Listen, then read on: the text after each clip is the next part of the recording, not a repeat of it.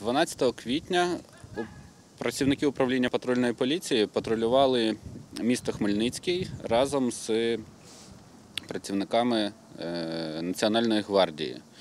І е, під час патрулювання е, спільно і за допомогою службової собаки Нацгвардії виявили тіло людини, ну, яка загинула принципі, в центрі міста Хмельницького. Ми саме зараз приїхали відзначити дресирувальника і саме собаку, яка виявила це тіло.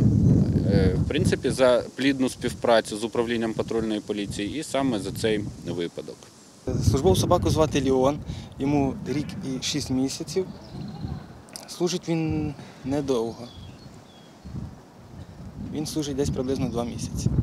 Він допомагає нам перевозити е, засуджених е, з СІЗО на поїзд.